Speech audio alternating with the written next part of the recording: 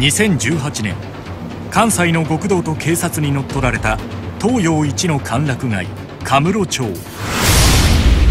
巨大な権力に立ち向かう男春日一番の新たな伝説が幕を開ける。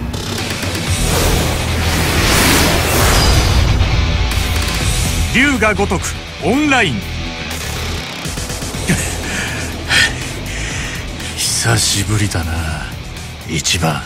大家さん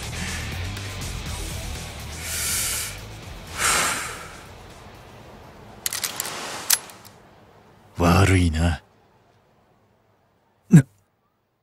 なんで？